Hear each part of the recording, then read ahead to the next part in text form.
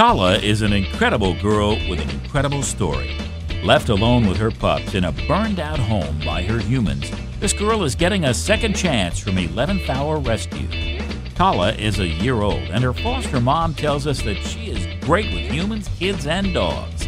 Kala is active but also loves to be mellow and hang by your side, and especially get belly rubs. Kala walks great on her leash, is good in the car, is totally housebroken, and would love a family to call her own.